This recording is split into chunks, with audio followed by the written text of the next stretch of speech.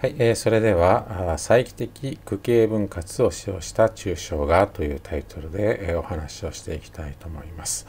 えー、最初にこの抽象画ということで抽象ということが出てきますが、この抽象と具体ということについてね、えー、お話したいと思いますが、抽象的って言われるとどんなイメージがあるでしょうか。まあ、抽象的ってどうなのって書いてますが、まあ、抽象的っていうとね、なんか分かりにくいっていうイメージがありませんでしょうか。まあ、具体的に、ね、説明してくださいとかね、具体的な例を出すと非常に分かりやすくなる。ということで、抽象的は何かちょっとこう、どっちかちょっとあまりいいイメージじゃないというかね、分かりにくいというイメージがあると思いますけれども、まあ、けれども、抽象化は美しいというね、ちょっとそんなことを話していきたいと思います。えこれはあのまさに具体的な例ですけども太郎くんが家から学校まで分速60メートルで歩くと5分で着きました。家から学校までの距離はっていうね、これ、まあ、算数の問題のような感じですね。えー、まあ、これ 60×5 で300メーターっていうのが答えなんですけども、あのここで注目してほしいのは、特にあの小学校のうちの算数の問題っていうのは、あの具体的に言わないとなかなか理解が進まないと言われていて、例えばこれ太郎くんとかね、別に本当は太郎くんじゃなくてもいいですし、まあ、家から学校までって書いてますけど、別に、えー、図書館でもいいですね、駅でもいいわけで、えー、別にこの家とか学校とか太郎くんとかいうのにね、何か特別な意味があるわけじゃないんですけども、なのでこれなくてもいいっちゃなくてもいいんですが、でもこう具体的な例を出さないとなかなかこう頭でイメージしにくいというのがあって、え、小学校の特に低学年のうちはこう具体的に名前が出てきたりとかね、え、することが多いです。まあ、これがだんだん高学年になると A 地点から B 地点まで分速60でいくと。ね、とかそんな感じで、えー、なるわけです。まあ、人も、ね、場所も全部抽象的なものにで全然置き換えられるというわけです。まあ、そういう意味で、えー、まあ、これは非常に具体的な例なんですけどもこれをこうちょっとこう抽象化するとこんな感じでしょうかね。基本的に速度と時間をかけると距離になりますよっていうね、え別にこれ分速 60m でなくてもいいわけですね。5分という必要も性もないのでこれをより一般化といいますか抽象化したのがこの d イコール v×t ということで、えー、まあ、こういう文字が使えるようになるのは大体まあ、中学校ぐらいでしょうかね。小学生のうちはなかなかこう抽象的な概念は難しいということで、えー、数字で扱うことが多いんですけども、まあ、文字にすることによってよりこう抽象化、一般化して、まあ、いろんなところに応用ができる。わけです。当然これはあの分速じゃなくても時速でもいいですしね、えー、まあ、時間もね秒とか分とか何でもいいわけです。ま、そういう意味でこの d イコール v×t っていうのはかなり抽象化した概念と言いたいところではあるんですけど、それでもこれ見るとね、例えば t は time、時間ですし、v はベロシティということで、まあ、速度、d はディスタンスで距離ということで、まあ、かなりこれは距離と速さと時間の特別な、特別か特殊な具体的なケースを意識して文字を当てはめているという感じで、ある意味で抽象化がままだそんなに完璧ではないということです。で、これはあのもちろんね、このより抽象化するとこんな感じになるわけですね。この x と y の関係が、これはいわゆる線形的な関係。まあ、この部分ですと比例っていうんでしょうか。例えばこれバネの伸びとその重りの重さとかでも応用できるわけですよね。まあ、そういう意味で、えー、よりこう一般的の線形的なというか、まあ、一次式で表される関係。この場合の x と y との関係は、その線形的な関係みたいな感じで、より一般的、いや抽象化された表記がこんな感じになってくるけです。でさらにもっと進みますと、えー、まあこれね、えー、x と y とかじゃなくてもいいわけで、えー、単純にここれは x と y だとね、2次元の話になるわけですが、2次元じゃなくてね、n 次元でいいわけで、でそのそれぞれ係数がかかってるだけみたいな感じになると、まあ、こういうふうな表記になりますし、まあ、さらにちょっとこれ N とかね、シグマとかちょっとこうごちゃごちゃしているんで、もっとこう、なんかベクトル表記っていうんでしょうかね、あの多次元の表記で、えー、A と X ってのはそれぞれベクトルですみたいな感じになると、もうシンプルにこんな感じになって、まあ、よりこう、抽象化されていく、どんどんこうね、シンプルにま美しくなっていくっていうようなことでしょうか。まあ、具体的な例に比べると、まあ、具体的にイメージするのは難しいんですけども、でも、ま、いろんなこう、ね、線形的な関係に当てはめることができる、ま、非常に応用が効くというかね、えー、そういう意味では非常にこう応用が効くし、美しい表記だというふうに言ってもいいんじゃないかと思います。で、もう一つの抽象化のお話として、あ、すみません。で、ここにちょっと説明が出てきましたね。個々の特徴をそぎ落とし、一般化、普遍性を追求、まあ、普遍性を追求しているっていうことなんでしょうかね。で、えーまあ、もう一つありまして、抽象化の面白いところは、まあ、一見無関係なものに共通点を見出すことができるということです。で、ここにの例を挙げてますが、この、まあ、3次式 ax3 乗プラス bx 乗プラス cx プラス d イコール0っていうのと、えー、3本の線でできている網網田口と、まあ、正三角形が書かれています。まあ、パッと見、全く関係ないように見えるんですけども、まあ、これはあの実は非常にこう関係があって、特に数学のね、群論っていうね、えー、そういう手法を使いますと、のこの3つは実は同じであると言っていいでしょうか。まあ、ここに具体的にアルファ、ベータ、ガンマって書いてあって、、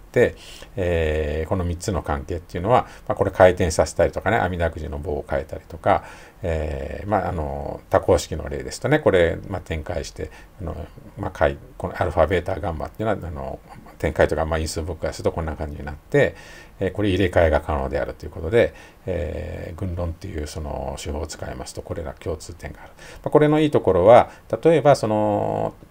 多項式の話を正三角形のね、こう、回転とかそういうものに置き換えて考えることができるというわけです。で、まあ有名なところはその数学者ガロアのね群論っていうのがあって、まあ、ガロアっていう人は5次方程式のそのいわゆるこう一般解示す解の公式は存在しないということを証明するのにこの群論の手法を使って、えー、まあ、このいわゆる正多角形のこう変換に置き換えて考えて解決したと言われています。まあ、当初はねその多項式でいろんな公式変形して頑張ってやっててなかなかこう見出せなかったんですけどもこの群論という考え方を使うとねそれが別の分野に置き換えてそこで、えー、証明してみたっていう、まあ、そういう意味ではあのある意味そういう意味ではねこういろんなものに応用が利く考え方であるというか、まあ、別個のものに見えるものに実は共通点があるんだよっていうお話になるわけです。で、えー、まあ、の、ずいぶん数学の話をしたわけですが、えー、まあ、今度はね、美術の分野でね、抽象画っていうのがあります。で、まあ、この、このさ発表の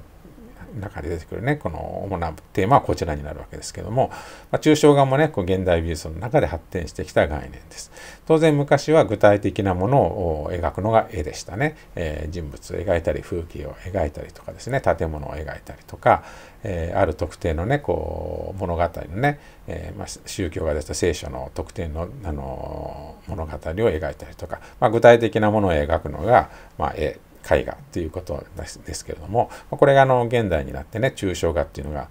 出てきたわけです。で、えー、まあ、これを最初にやったのがセザンヌだと言われていて、まあ、セザンヌはその、まあ、自然を円筒と球と円錐で表すっていうふうにね、えー、言ったそうです。ま、よりこう抽象的な図形で、えー、描こう。まあ、抽象画の始まりですね。で、これあの、その例で、えー、サンビクトワールっていうね、えー、これセザンヌの作品ですが、まあ、これ、まあ見てね、この山があって町があってこう森があってっていうね、まあ大体何が描いてるかわかるんで、そういう意味じゃ抽象化って言ってもね、全然まだまだあの具体的なものを描いてるように見えるんですけども、まあ、よく見ると、そのさっきのセザンヌのその主張にある通りね、えー、円筒とかね、球とか円錐とかを中心にして構成していることがわかります。で、まあ、これがあの発展していくと、例えばこれピカソの、えー、マンドリンを弾く女でしょうかね。えー、まあ、かなりこう 立体図形を使ってねこう構成している、まあ、抽象的になってきていますがでもまだね女性がマンドリンを弾いてるっていうのはなんとなくわかる。で、えー、だいぶ抽象が進んではきているもののまだ具体的なものが判別できるわけです。で、えー、次に行きますと、これはね、あのー、なんだろう、何を描いてるのかわかんないぐらいになってますね。これあのー、ピエール・モンドリアンのコンポジションという作品で、まあ、抽象画として非常にね、の有名な作品になります。まあ、実際こう、区形でこう構成されてて、色使いもそんなにたくさんの色を使ってるわけじゃなくてね、え数少ない色で、えその、絵画を構成している。というようなことです。確かに見たところなんじゃこれって感じですよね。これがまあ抽象化のかなり進んだものです。でちなみにあのこちらの方ですけども、ま、これあのまあ、私のその AI アーティス Artistic Neural Painter っていうね、えー、これ AI のディープラーニングを使った作品でして、その与えられた画像をね、その場で、えー、その場でというかその瞬時に変換する。でこれはちょうどさっきのモンドリアンのコンポジションを学習させた、えー、スタイルに当てはめて、えー、これはなんとなく分かりますよね。建物があって、えちょっと木があってで、まあ、人が歩いてるっていう感じのね、え様子の部分をモンドリアンのコンポジション風に変化したがこんな感じということです。まあ、ちなみにこれのね、えー、のプロモーションビデオが YouTube で公開されているので、えーまあ、ぜひ、えー、ご覧になってください。まあ、ということでね、抽象画というのがね、え、どういうものかっていうのを簡単に説明したわけですが、まあ、それで一方ですね、コンピュータグラフィックスっていうのはまどういうものなのかっていうと、まあ、ここではね、あの単に解像度のことを言っています。あのそれこそあの解像度が高くなるとね、非常にきれいに、まあ、言い方変えると具体的なに何が映ってるのかって分かって解像度を下げていくとどんどんねなんか区形だけになって何のこと何を言ってるのか分かんなくなるってねよく